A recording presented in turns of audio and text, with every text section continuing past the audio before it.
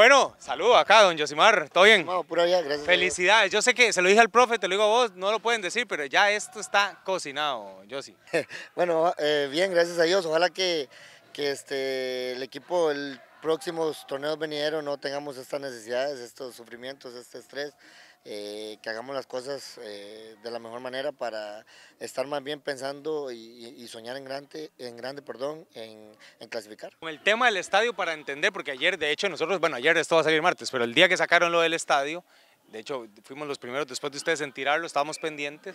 ¿El estadio va a ser aquí o va a ser en otro lugar? No, aquí, aquí. O sea, va a ser como una remodelación. Sí, sí, tenemos demasiado espacio, pues usted Sí, sí, demasiado. Para que, porque pierden como mil personas al ah, campeonato con los árboles ahí. Sí, sí, sí. bueno, ahí la gente disfruta, está visto. El palco, el parco verde. hamaca. Eh, hay otros estadios que tienen palco de pie, nosotros tenemos palco de hamaca. Ya que lo dijiste vos, porque después dicen, eso es de fanáticos de Heredia, no sé qué, ¿verdad? Pero... No quieren Heredia. No quieren Heredia, no, no es cierto, mira que vos sos emblema, vos... Yo quiero mucho Heredia también. No, no, yo soy de, de, y también siempre los veo y yo sé que les tiran por eso. Sí, pero vieras que es raro porque invitamos a gente y, ay, no queremos ir, ay, no sé, pero bueno, no importa. El punto es, aquí va a ser la remodelación y cuándo, o sea, no sé si es un plan de, porque yo también lo digo y ahí sí defiendo Heredia jode mucho con la vara de que mil años del estadio, pero realmente es muy complicado hacer un estadio. Es más, si te lo digo, para Saprissa la liga va a ser todavía más complicado porque primero me parece súper bien la idea de 7.500, 8.500 acá, pero para Saprissa o la liga hacer un estadio de 25.000 personas, eso es el triple, el cuádruple de gastos, ¿verdad? Pero, pero ¿cómo están los planes? ¿O es ahorita una maqueta, un sueño? ¿Todavía eso no se ha trazado? No, hay, hay muchas cosas, ¿verdad? Ya está la maqueta, hay mucho, hay mucho por, ya se adelantó bastante, ahora hay un par de temas ahí que, que hay que seguir trabajándolos, pero yo creo que es un sueño todos los guanacastecos, no solo, no digo nicoyanos, porque eso sería un sueño para todos los guanacastecos, tener un estadio del primer mundo. Sabemos que Liberia tiene un estadio muy bueno, mundialista y todo, pero sería el estadio de Nicoya un estadio del primer mundo también, ¿verdad? Entonces eso lo ilusiona a uno.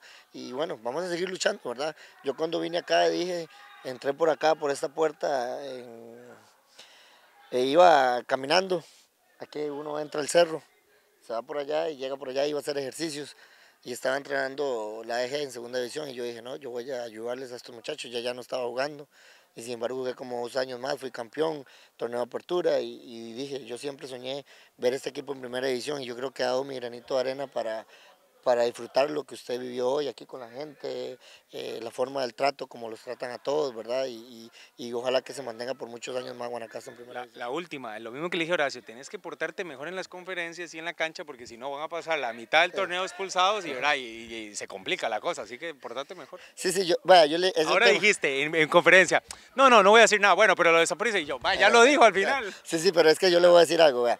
Yo estuve en Heredia, estuve en la Juela y esos equipos son un poco más respaldados por, porque mediáticamente son, son más, obviamente, más grandes, más afición, un montón de cosas. Pero cuando uno está en un equipo como este, uno trabaja y lucha demasiado para que venga un árbitro y le pite un penal que no es verdad. Entonces, eso es lo que lo frustra a uno y lo que duele. Pero no, no, no, siempre son seres humanos los árbitros y están para equivocarse y yo sé que no lo hacen adrede, ¿verdad? Esperemos. Pero, pero siempre vamos a defender a muerte a mi equipo. Y te digo, tienen lo más importante, ni te hablo de jugadores ni cancha, afición. Porque solo hay cinco o seis equipos con verdadera afición. Los demás están intentando, luchando, pero yo creo que ustedes tienen ese es, ese, es lo, ese es el ADN más importante, porque hoy este ambiente fue de primera y de primera no se van, así que muchísimas gracias. Sí, muchas gracias, mami, muchas gracias por estar por, por acá y ustedes saben que esta es su casa y, y, y, como le dije antes, siempre los veo, yo veo todos los programas. Bueno, vamos un herediano, si querés ir de vez en cuando a defender a Heredia. No digas eso, porque eso, eso es para problemas no, también. No, no, a ver, es que la gente, estamos en una, somos muy cristalinos ahorita, ¿verdad? Y la gente cada tres días se enoja por algo diferente. Pero, a ver, la gente tiene que entender que el, que el, futbolista o el dirigente es profesional. O sea, al final, vos sos herediano de cepa. Vea, yo voy a, le voy a decir algo. Bueno, hace, hace 15 días vino Heredia le metimos cuatro, yo era el más feliz pero yo a Heredia lo quiero mucho, a la afición me trataron demasiado bien y espero algún día, ¿verdad? Porque también uno tiene que soñar también en salir, eh, como, como directivo, gerente, lo que sea, eh, estar en Heredia en algún momento y vas a tener un herediano amigo que te va a querer. Sí, sí, para que llegue algún panelista, pero bueno, don Josimar, muchísimas gracias. Fuera mi hermano.